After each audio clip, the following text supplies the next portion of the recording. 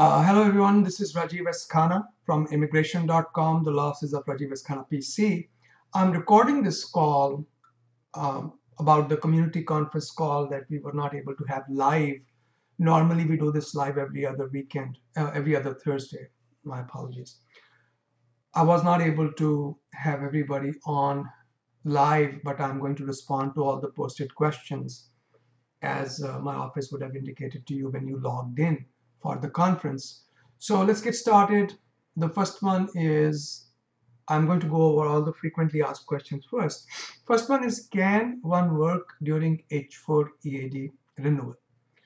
The answer is no. The usual rule for all EADs except for F1 OPT is that during the renewals, if your old EAD expires, you cannot work. So for instance, in this case, Sureshji's wife's H4 EAD expires on 15th July. They have applied for a renewal on May 9th. Does she have to stop working if the new EAD doesn't come through? The answer is yes. Let's go on to the next frequently asked question. This is also frequently asked and I have answered it many, many numbers of times. Can a green card applicant, for example, sibling of a US citizen, remain in the USA while green card is processed? And the answer is no. No one except those who have simultaneously applied for adjustment of status.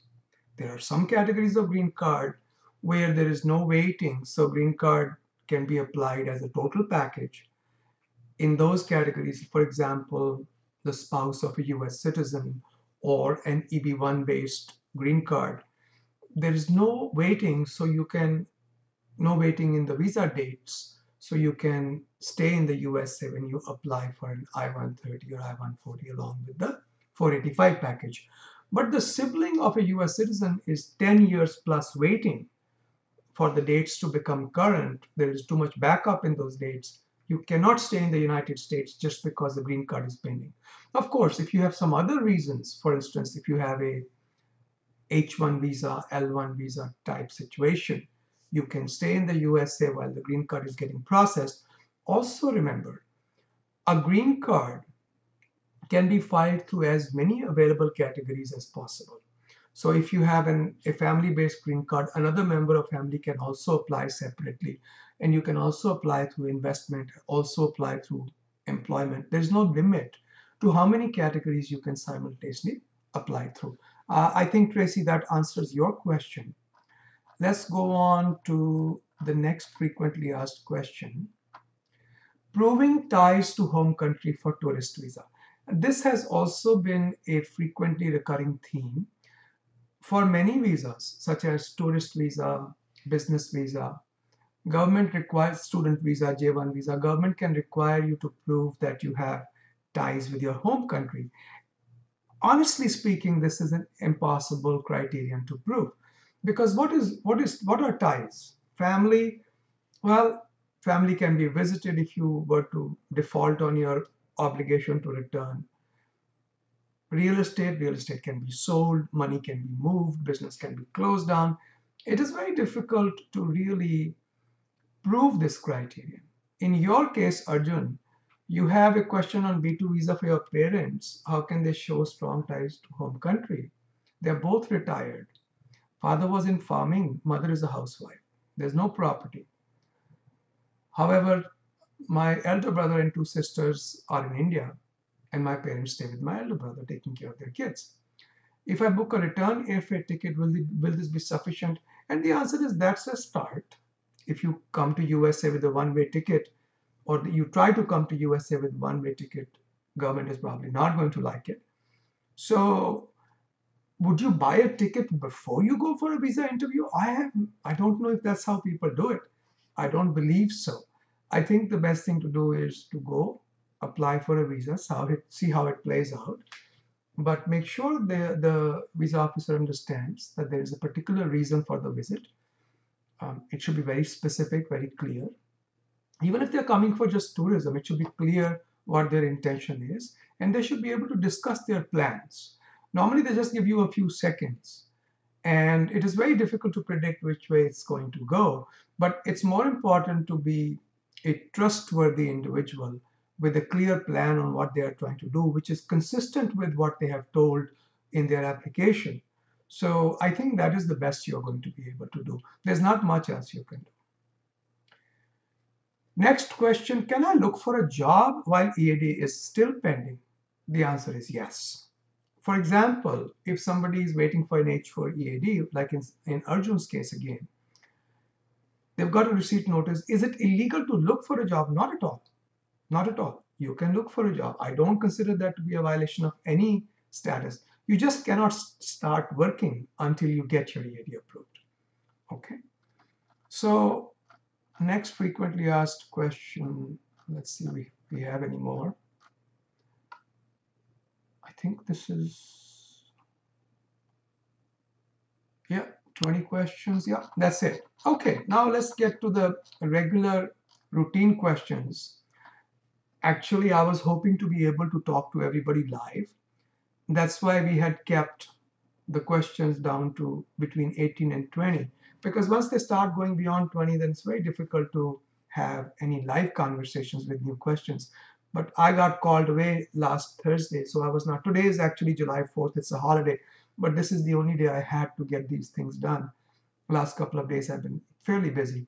So I'm just trying to wrap this up. Um, next Thursday should be better. Next uh, I think it's next to next Thursday whenever we have the next community conference call okay so we should be able to deal with all the fresh questions now, here's a question from Jan US 99. Jan says, I'm on H-1B visa, came to USA 2012, I-140 approved. Second H-1B term will, uh, will expire in April 2017. Joining a new company, they'll transfer my H-1B. Can they file H-1B extension same time to get three-year extension? It's kind of unpredictable when you have uh, over a year left, it is unpredictable. But, but when you have under a year, you might be able to get three-year extension. It's worth trying. USCIS has been very unpredictable in cases where there's more than six months remaining on the initial H1. But I think you will get three years. That would be my best guess. Should I wait for my company to file extension? You're answering your own questions. Absolutely. Don't uh, wait for my company to file extension. No, no, sorry, I misunderstood that question. Should I wait for my company to file? No, I don't think you need to wait for extension. But what I would recommend is don't join the new company until their transfer H1 is approved. You are, you are allowed to join based upon the receipt, but don't join until the actual approval comes. Can you also change to employer C? That has been very tricky. If the old I-140 is not revoked, there is no doubt you can keep changing to any number of employers, each time getting a three-year extension at least, be eligible for three-year extension. But if the I-140 is revoked, things get much more murky. There are regulations pending, not enacted yet, which would allow you to keep your priority date as well as the right to extend your H1 if your I-140 was approved for 180 days and then revoked but I don't know what the regulations will do. Will they ever come into being? So far, they've just been pending. So they're at kind of the final stage. Next question is Ravinder Singh. I'm an Indian getting married to a US citizen in 2013 in India. Got married. She's become intimate with somebody else. Sir, I can't really do much for you. I I can't tell you. I don't think you can do much. And of course you cannot you can never complete the process for the US green card unless she supports you. You are still in India your consular processing has not been done only the I-130 was approved. If she doesn't give you an affidavit of support there is not much you can do there might be something you can do under Indian laws you might be able to file a lawsuit against her for some kind of a breach. I do not know what the Indian side of things would be. But on the US side, I don't know what else you can do. You can talk with a lawyer in the state where she lives and see if there is any kind of state action possible against her, some kind of a lawsuit. But Mr. Singh, lawsuits in US they are extremely expensive. I would be surprised. See, even in smaller cities, smaller towns, you're not going to be able to easily find a lawyer who will work for you for less than a couple hundred dollars um, an hour. In our area, for instance, the normal fees for a litigator is about 400 to 475 dollars an hour. So it's not going to be cheap for you. Be very careful with that. Next question is Mohit Garg worked in USA for 10 years. In 2014 came to USA on advanced parole, currently working with India branch of my US company. Green card has been sent for production. I shall get them delivered at my New Jersey address. See, I have a problem with this situation because you abandoned your 485 by, by letting your advance parole expire. So I'm not sure what the status of these green cards is. You should definitely talk with your lawyers. There is a problem here that needs to be resolved. And it could be just a procedural issue. Maybe you can convert it to consular processing or maybe you can refile the 485 very odd situation because green card has been approved. So it's some, something that needs to be resolved. I can't give you advice in 10 minutes of my time. This is a fairly complex situation. The rest of the questions are really minor as as compared to whether this should have even been approved. Because you've been gone from USA for over two years uh, under two years. If your advance parole is still valid I think you are okay or, or even your H-1B visa. So I, I think there is a definite problem with that green card approval.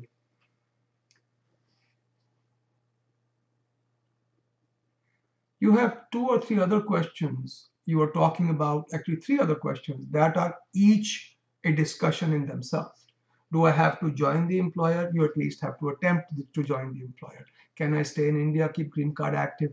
read our frequently asked questions on uh, re-entry permit, also known as Form I-131, as well as Form N-470. We have a lot of discussion on this in our frequently asked questions. What are the minimum requirements to stay in USA for getting US citizenship? This is again, I'll, I'll sum it up very briefly for you. You need, first of all, never to have abandoned your green card. So if you have never taken a job in USA, but you have a job in India, there is definitely a doubt whether you are living in India or USA. Second, physical stay in USA for at least two and a half years, 30 months before you file the application in the last five years, and your green card must have been approved five years or more ago. So this is a very brief set of requirements, but there can be more. Don't expect to get US citizenship if you don't move to USA. Next question, Naz. I came to USA in 2010 in F2. We converted to H1, H4. We haven't gone to India. We don't have visa stamps. Green card is in process. Will it be a problem for H4 stamping considering I haven't haven't visited India in past five years? No. No. Will the visa officer ask to appear the primary H1B for stamping? They can, but I don't know if they have been doing that lately. So the question is, we have here on H1, H4, H4 wants to travel, get a visa stamp. Will the visa officer ask husband to also get the H1 holder to get visa stamping first? And that's within their rights, but I do not believe they've been insisting on that in the recent few months at least. Okay, so even with that 221G, as long as it was cleared in the past, I think you should be okay. But you should talk with your lawyers now, make sure that there are no other complications with your case. Monarch says priority date is May 5th, 2003, F4 category. Received visa refusal under 221G. Financial assets issue of the sponsor. We paid everything. One year will pass. They've taken all our documents do we need to do the whole process again? I don't know, uh, what exactly is going on at the consulate. You definitely need to contact the consulate via email as well as phone calls. If you have a lawyer, they should be contacting the consulate. CSPA, what will happen in that situation? Again, all of these things are very fact dependent. I can't make a general generic statement. I don't know what is going on. Normally, if the cutoff date before the CSPA cutoff date, a process has been put in, in motion, that should not be a problem. CSPA should not should be still in play. Normally that is the situation. As to exactly what your case is, I do not know. What will happen in the June 2016 retrogression? I can't predict that, Monakji.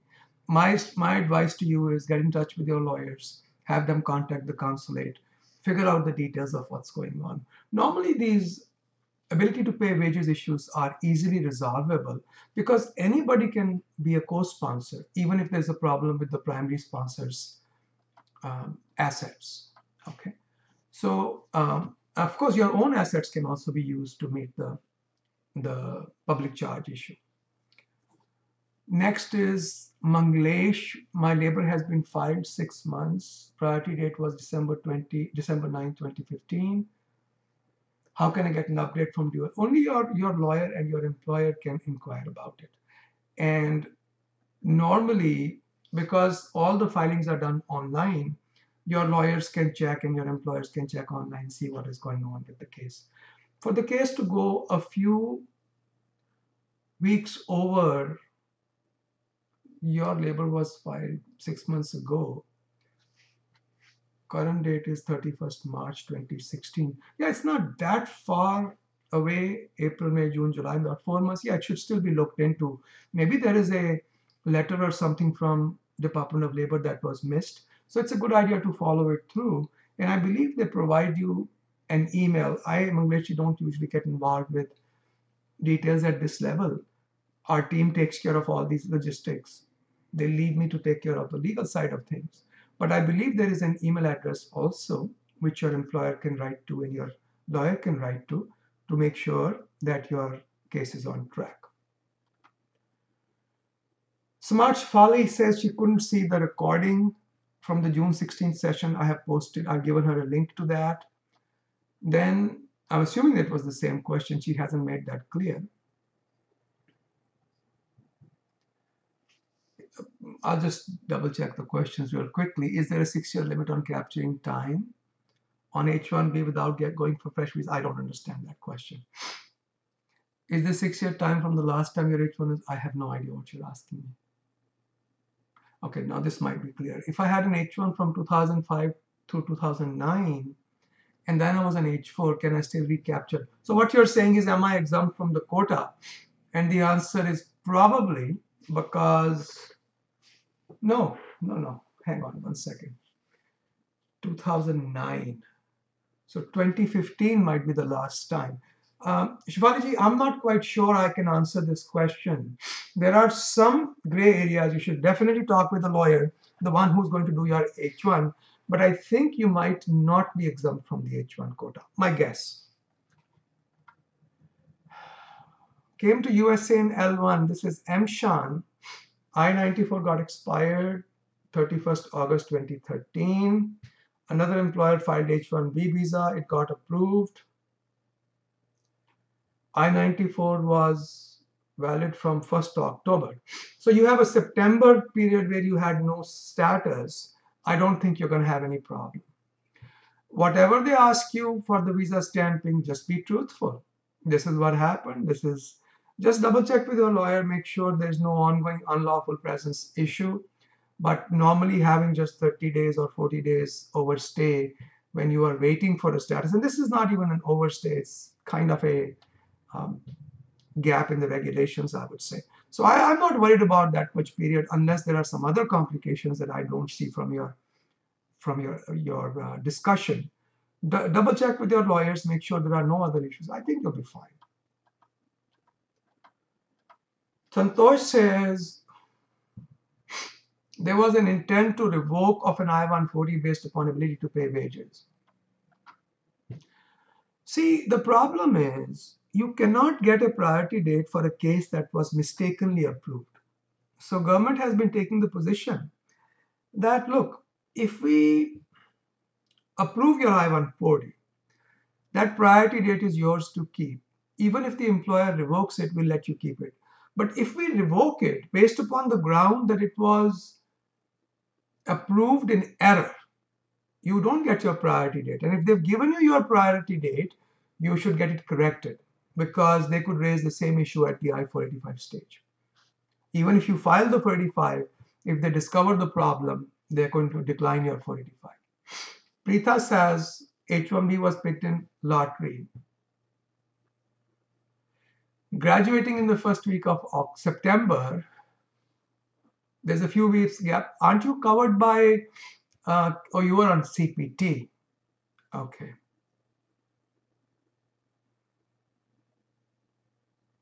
Because OPT is covered by gap, cap gap.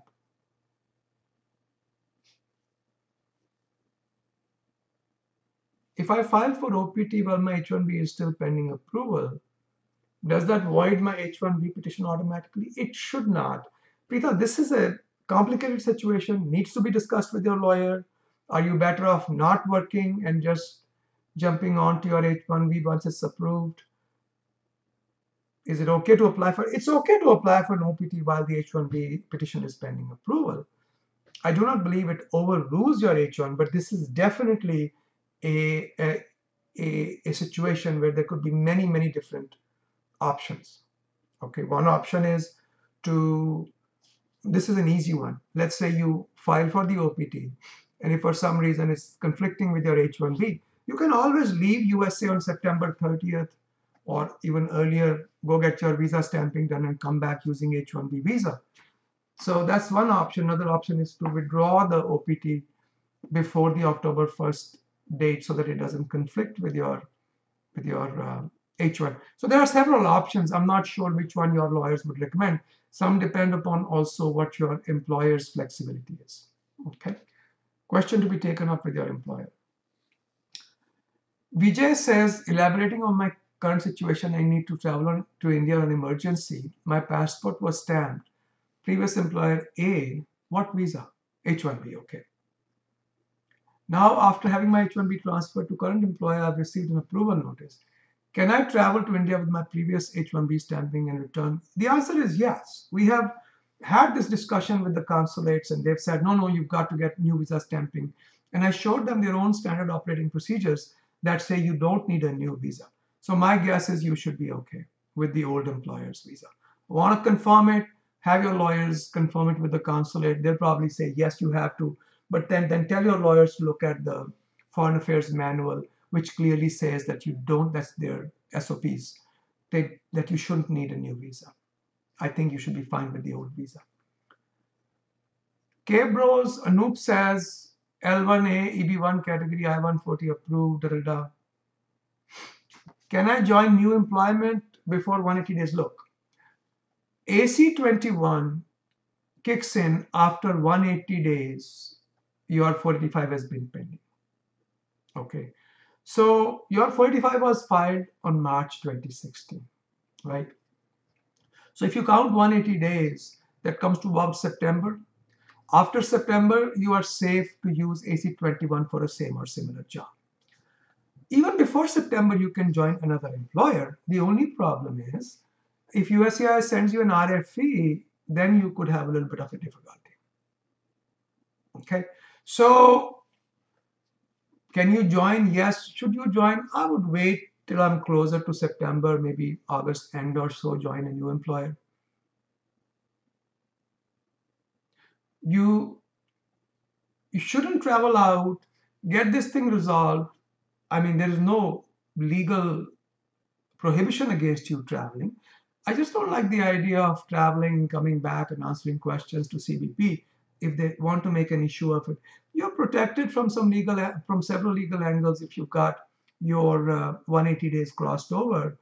But this is what I would do just because I like to be safe from every possible consequence. I would join a new employer only after about August end or so. Once your 180 days are closer from March, 180 days come to about Uh, uh, September, right? So then I would join the new employer. Once I've joined the new employer on a same or similar job, I'll have my lawyer send out an AC21 letter to the government that I've joined a same or similar employment. And then and only then I would make my plans to travel. I think then you are fairly safe. Then the next question, I believe it's the last question pretty much. My this is from Ray. I don't know how to pronounce your last name, Ray. It's, it's Yeber or Eber. My I-140 was approved in 2012 with company A. I'm going to join company B. Can company A revoke my I-140? Yes. Does it cost them to revoke I-140? No. Can company B retain priority date even if it is revoked? And we have discussed this issue many, many times, book, um, um, uh, Ray. You can take a look at my blogs. I have a complete discussion on it. The current answer seems to be that you can retain your priority date even if the I-140 is revoked, but you may not be able to get further H-1 extensions based upon a revoked I-140. So get your I-140 approval, then join the new employer and start a new green card through that. And there is, I guess, the last question that our administrator has posted. Applying for re-entry permit and working from India. I'm a green card holder. How long before should I apply before leaving USA for less than two years? Huh? That's I guess you're asking me how far in advance should I apply before I look re-entry permit only requires this that you should have filed while you are still in USA and then you have to do your biometrics and that takes a few weeks you can either come back for the biometrics or you can just file your re-entry permit, wait till the biometrics are done and then travel. Time taken to get it approved, that depends. It's variable, can take several months. Can I apply myself? I don't advise people to file their re-entry permits themselves. Go get a, get a lawyer because this can create problems if it's not properly. You need to be properly counseled. You have to understand what this means. You have to make sure the application is filed in the right way. So like to get married in India and raise a family while in, in India with re-entry permit it's a very you know if you don't live in USA and you don't have intention to living in, to live in USA you should not think that you can keep your green card There's going to be a good reason why you're going to India and should be a temporary reason if you want to raise your family in India that doesn't look like you want to keep your green card here you definitely need to talk with a lawyer in detail yeah all of this that you're asking me these things are not possible to plan without understanding what your motivations are. Because if you lose your green card, there's no question of getting an F2A for wife or, or, or child, etc. So theoretically, everything is possible. You can apply for a family-based green card while you're working from India. Ultimately, you have to show to the government that you intend to return based because that's what the affidavit to support requires. So there are things that that that have to be planned for. This is not the kind of discussion we can have without having a one-on-one consultation. You can you can send us an email or, or my email is help at immigration.com or you can send uh, us a contact through the contact us form on immigration.com. Okay, folks, that wraps up the discussion for today. I was able to get it done in about oh half an hour or so. So we'll we'll see you again the Thursday after the next one, and I hope to have a live conference with you at that time. Thank you all. I always enjoy talking with you today. It was a one-way conversation. Hopefully next time it won't be. Bye-bye.